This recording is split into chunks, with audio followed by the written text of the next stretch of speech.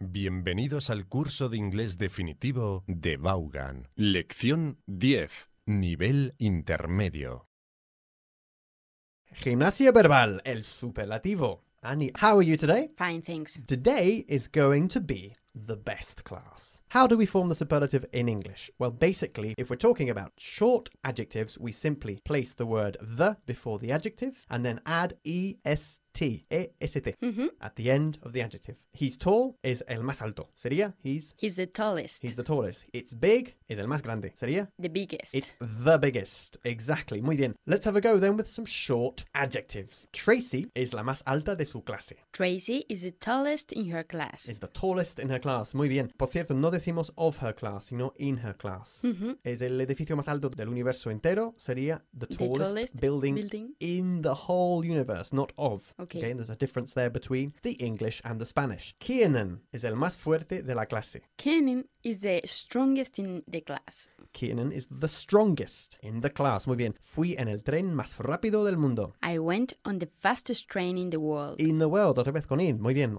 On the fastest train in the world. Ella es la chica más inteligente del país. Y vamos a utilizar el adjetivo brainy. Ahora, brainy es un poquito más largo, contiene dos sílabas, Mhm. pero como acaba en Y, simplemente cambiamos a la Y por una I latina y sí añadimos EST Ok. al final, ¿vale? Entonces, ella es la chica más inteligente del país. She's the brainiest girl in the country. Brainiest, not brainest, the brainiest, Brainiest. ¿ok? She's the brainiest girl in the country. Excellent. Es la estrella más brillante del cielo. En este caso no diríamos brilliant, sino bright. A bright star. Brilliant es brillante en el sentido intelectual. It's the brightest star in the sky. It's the brightest star in the sky. Él conduce el coche más rápido de la ciudad. He drives the fastest car in the town. Casi. All right. we don't say in the town, but in town. Okay, it's like a, a set phrase. He's the, the most intelligent guy in town. Okay. She's the most beautiful girl in town. It's the best restaurant in town. All right? All right. The next one then is el lugar más tranquilo que conozco. It's the quietest place I know. Quietest place I know. Quietest. Okay, quiet is another two syllable adjective, um, but it's an exception because again we use est at the end to form the superlative. It's the quietest place I know. All right, the next one. Él vive en la casa más grande de esta calle. He lives in the biggest house in the street. Very good. He lives in the biggest house or the largest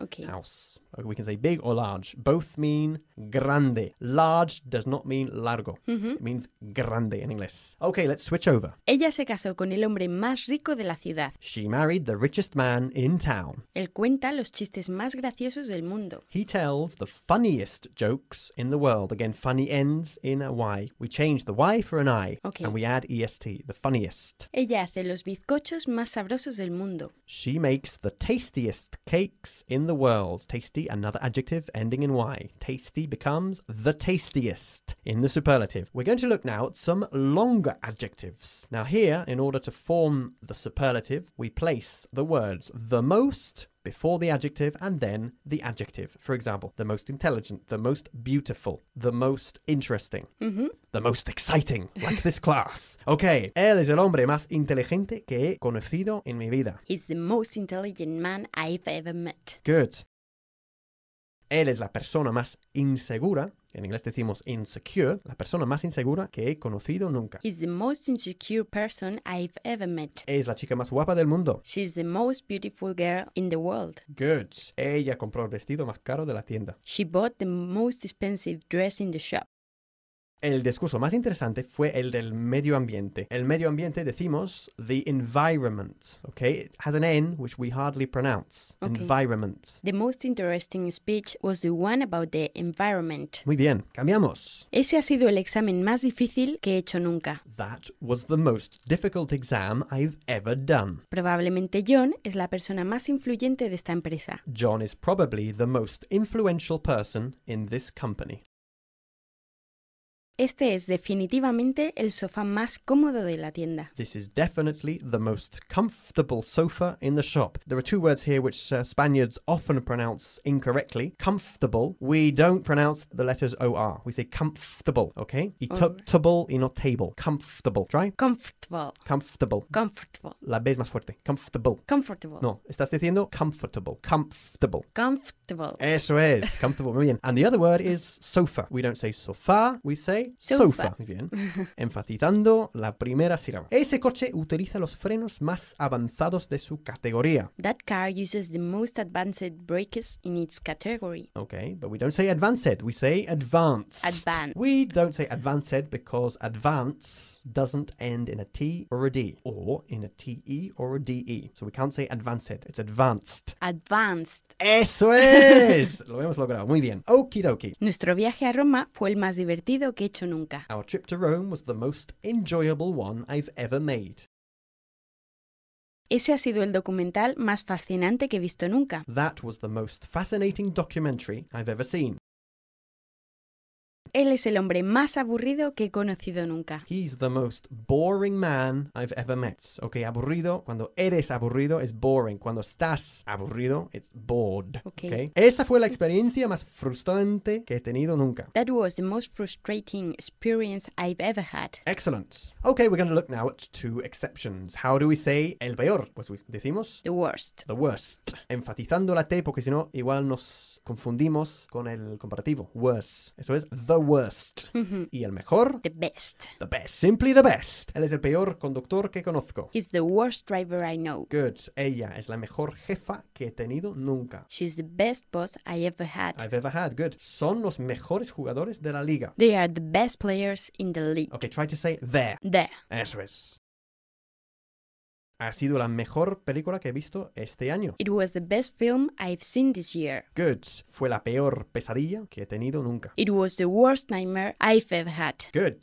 Es el peor trabajo que te puedes imaginar. It's the worst job you can imagine. Excellent. Now, when you say lo mejor o lo más importante, okay, we always have to add the word thing in English. Lo mejor fue eso. The best thing, lo más importante es tal. The most important thing is tal. Okay.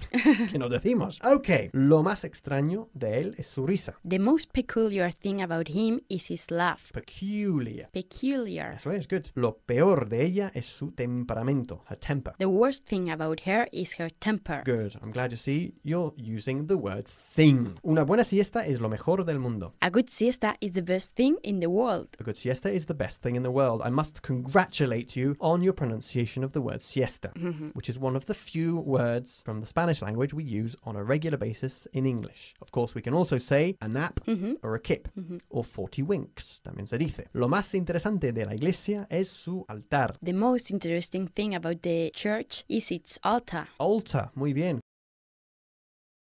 La expresión de la semana. I can't find. Si dices I don't find something cuando lo estás buscando, suena macarrónico. ¿De acuerdo? Hay que decir I can't find. Es como un verbo de excepción. ¿Vale? No encuentro mi bolígrafo. I can't find my pen. I can't find my pen. Okay. ¿Ok? Hay que exagerar un poquito más la T. No encuentra dónde dejó su pasaporte. Hablando de ella. She can't find where she left her passport. Good. No encuentran dónde vive él. They can't find where he lives. Good. Cambiamos. No encuentras nada a menos que lo tengas delante. You can't find anything unless it's right in front of you. That's what my mother used to say to me.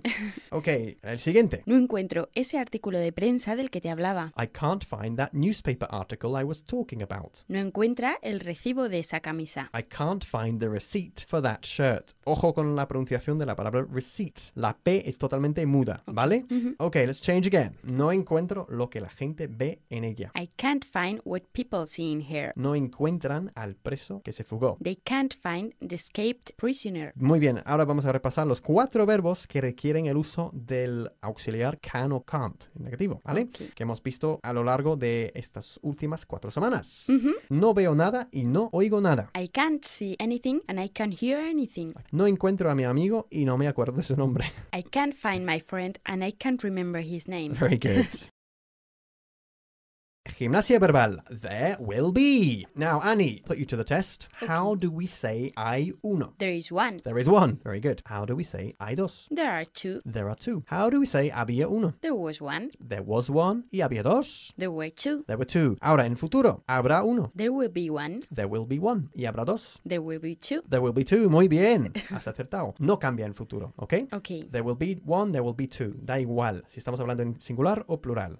Vale, vamos a machacarlo un poquito para ganar aún más agilidad con esta estructura. Habrá mucha gente allí. There will be a lot of people there. Good. Habrá bebida. There will be drinks. Good. Or there will be drinks available. Habrá una orquesta tocando. There will be an orchestra playing. Okay, in English we say orchestra. Orchestra. Orchestra. Hay una R ahí. There will be an orchestra playing. Habrá gente bailando. There will be people dancing. Habrá mucho ruido. There will be lots of noise. Good. Habrá alguien cantando. There will be somebody singing. Good. Creo que habrá una fiesta el viernes. I think there will be a party on Friday. Good. Let's look at some examples now in the negative. En vez de there will be, decimos there won't be. No habrá nadie en el funeral. There won't be anybody at the funeral. ¿Cómo pronunciamos funeral en inglés? Funeral. Funeral. Ok, no habrá suficiente tiempo para hacerlo todo. There won't be enough time to do everything. There won't be enough time to do everything. Very good. No habrá suficientes sillas para todo el mundo. There won't be enough chairs for everybody. Very good. Cambiamos.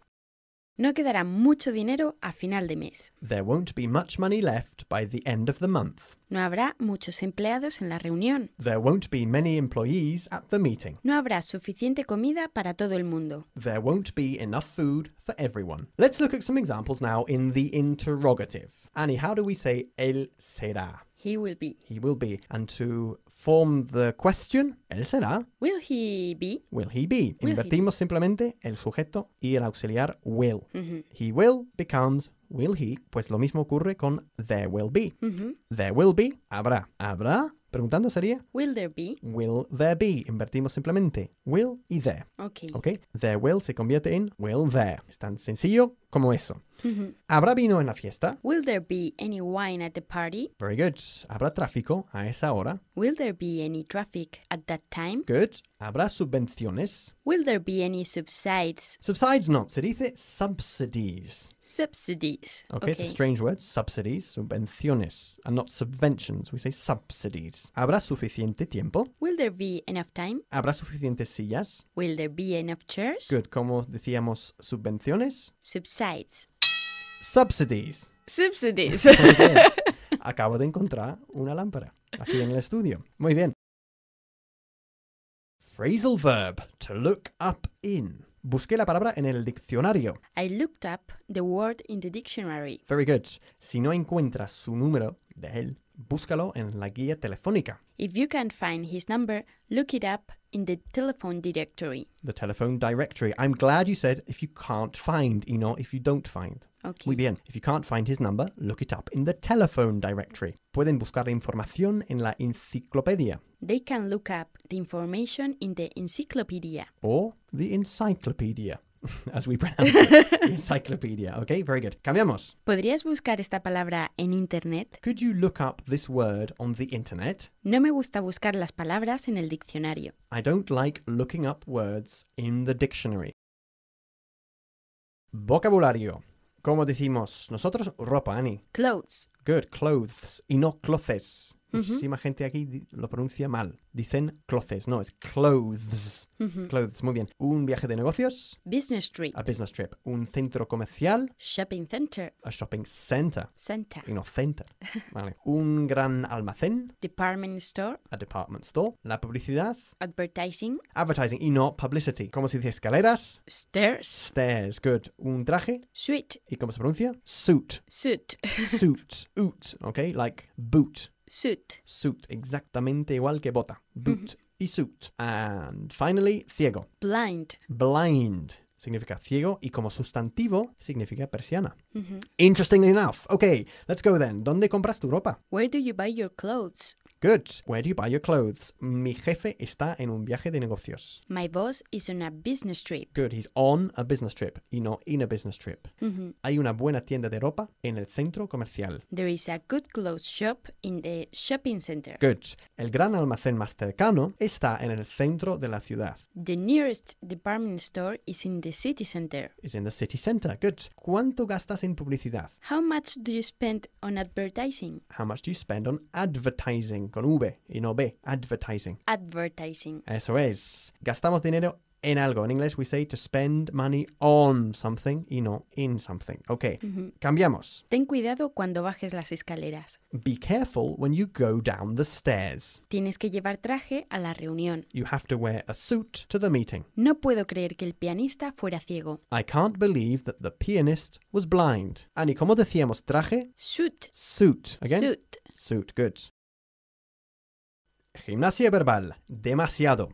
In English, there are two ways of saying demasiado. When we're talking about an uncountable noun, we say too much. For example, too much sugar, too much rain, too much money. Don't forget, money is always uncountable from a grammatical point of view. Ujú. When, on the other hand, we're talking about countable nouns in the plural, we use the words too many. Let's start with some uncountable examples. Donde empleamos siempre Ani? Too much. Too much. Good. Los futbolistas tienen demasiado dinero. Footballers have too much money. Too much money. Good. Hay demasiado tráfico en las grandes ciudades. There's too much traffic in big cities. There's too much traffic in big cities. Good. Mi bebé hace demasiado ruido por las noches. My baby makes too much noise at night. Good. Demasiado sol no es bueno. Too much sun is not good. Bueno, or too much sun is not good for you. All right. Okay. Mhm. Bebió demasiado alcohol en la fiesta. He drank too much alcohol at the party. Good. He drank too much alcohol at the party. Hay demasiada contaminación en Madrid. No decimos contamination normalmente, sino Pollution. pollution. Muy bien. There's too much pollution in Madrid. Ok. Ok, cambiamos. El calentamiento global es el resultado de demasiado dióxido de carbono en el ambiente. Global warming is the result of too much carbon dioxide in the atmosphere. Ella escucha demasiada música. She listens to too much music. No olvides que cuando escuchas algo o a alguien, empleamos siempre la preposición to. Ok. I listen to music, I listen to people.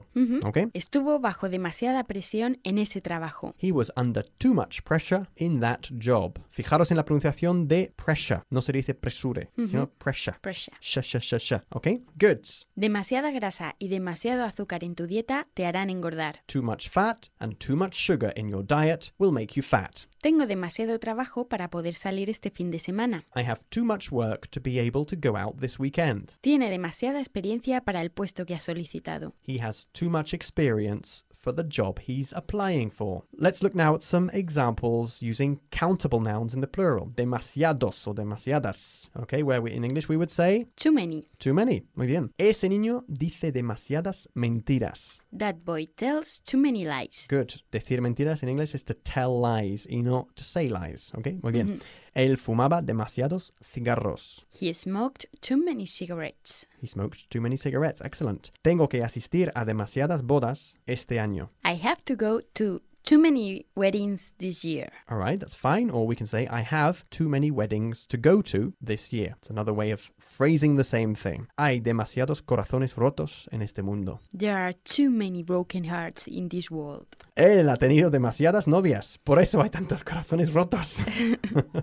He's had too many girlfriends. He's had too many girlfriends. Very good. Hay demasiada gente en el metro por las mañanas. There are too many people on the metro in the morning. There are too many people on the metro in the morning. On the metro, on the tube, on the underground, or on the subway, as they say in the United States. Trabajas demasiadas horas. You work too many hours. Let's change. Hay demasiados verbos irregulares en inglés. I can see. There are too many irregular verbs in English. Cometiste demasiados errores en tu examen. You made too many mistakes in your exam. Tiene demasiados libros en estas estanterías. He has too many books on these shelves. Como presidente de esa empresa se enemistó con demasiada gente. He made too many enemies as chairman of that company. Demasiadas cocineras estropean el caldo. Okay, this is a typical English saying. Too many cooks spoil the broth. Broth is an old word for soup. Ujú. Repaso de la entrega anterior. La clave del éxito. Más que y menos que. Has progresado menos que los demás en la clase. You made less progress than the rest of the class. Hay más ovejas que personas en Nueva Zelanda. There are more sheep than people in New Zealand. I can't remember. No me acuerdo de lo que hizo Juan. I can't remember what Juan did. How far is it? ¿Qué distancia hay entre Astorga y Langreo? How far is it from Astorga to Langreo? ¿Qué distancia hay entre Salamanca y Murcia? How far is it from Salamanca to Murcia? Verbos irregulares. Cuando Paul estaba en el colegio, nadó para Inglaterra. When Paul was at school, he swam for England. Cuando estaba en el colegio, volé en el Concorde. When I was at school, I flew on Concorde. Phrasal verb. Ella olvidó apagar la luz. She forgot to turn off the lights. Él nunca apaga la radio. He never turns off the radio. Nadie. Do you know anybody who lives on the moon? Di que no. No, I don't know anybody who lives on the moon. Good. Does everybody or nobody in your office work 24 hours a day? Nobody in my office works 24 hours a day. Good. Vocabulary. El camino era muy estrecho. The way was very narrow. Él tuvo una carrera muy corta. He had a very short career. Verbos irregulares. We're going to look at three more verbs now. The verb to lose, which means Annie, Perder, to find, encontrar, and to deal, tratar. cuyo pasado, aunque se escribe casi igual, se pronuncia dealt. Dealt. Okay? Deal, dealt, dealt. Let's go then. Todos los días pierdo. Every day I lose. Ayer perdí. Yesterday I lost. Todos los días encuentro. Every day I find. Bien, ¿qué se dice? To do a trip or to make a trip? To make a trip. To make a trip. Muy bien. Ayer encontré. Yesterday I Found. found. Muy bien. Todos los días. Él trata con gente. Every day he deals with people. Good. Y ayer, Yesterday he dealt with people. ayer encontraron. Yesterday they found. They found. Muy bien. Todos los días perdemos. Every day we lose. Y ayer, Yesterday we lost. ¿Cómo se dice el mejor? The best. Todos los días ella encuentra. Every day she finds. Y ayer, Yesterday she found. Todos los días tratan con gente. Every day they deal with people. Muy bien. Now we'll look at some more complex examples within the context of the year 1999. En 1999, ella perdió su pasaporte. In 1999 she lost her passport. Good. En 1999, ella trató con el presidente norteamericano. In 1999 she dealt with the American president. Good. She dealt with the American president. It's enough for us to say American here. We know automatically that we're talking about North America. All Okay. right. ¿Cómo se dice centro comercial? Shopping center. ¿Y cómo se pronuncia? Shopping center. ¿Y cómo se pronuncia? Center. Santa. Center, como si empezara con una S. Okay. Center. Shopping center. Eso es. En 1999 encontraron un tesoro. In 1999 they found some treasure. Treasure goods. En 1999 perdí a mi gatito, my kitten. Oh, in 1999 I lost my kitchen. En 1999 encontramos dinero en un taxi. In 1999 we found some money in a taxi. En 1999 traté con el presidente de la empresa. In 1999 I dealt with the company chairman. Good. En 1999 perdieron en la final. In 1999 they lost in the final. Cambiamos. En 1999 tratamos con mucha gente difícil. In 1999 we dealt with a lot of difficult people. En 1999 encontré un trabajo. In 1999 I found a job. En 1999 él perdió su trabajo. In 1999, he lost his job. ¿Cómo se dice buscar en el diccionario? To look up. To look up o to look up in. Muy bien. En 1999 nuestra empresa trató con la empresa de John. In 1999, our company dealt with John's company. En 1999 trataste con mi secretaria. In 1999, you dealt with my secretary. A continuación, escucharemos el párrafo de la semana. You're right in that our maintenance contract is expensive, but don't forget that it covers everything. For example, if you accidentally spill your coffee on the keyboard, we'll provide you with a free replacement until your machine is fixed. And if we can't fix it, you can keep the second one. You're right in that our maintenance contract is expensive, but don't forget that it covers everything. For example, if you accidentally spill your coffee on the keyboard, we'll provide you with a free replacement until your machine is fixed. And if we can't fix it, you can keep the second one. Números. 30. What we're going to look at now is the way that many people pronounce the number 30. Mm-hmm. Okay, normally, of course, we should say 30 with a T. But when we're speaking at a normal rate, it's very common to change that T into a D sound. Instead of saying 31, we would say 31. Okay. okay? I'm not recommending you do this necessarily, but it's good to be able to recognize it. Mm-hmm. Okay, so we'll do a little number dictation. I'll read you some numbers in English, pronouncing 30 as 30, mm-hmm. and I want you then to read back what you've got in Spanish. All Just to check you've got the right number. Okay, 39. 39, Good. 31. 31, 333. 333, 31,230. 31.230, 2030. 2030, 35,532. 35.532, Muy bien.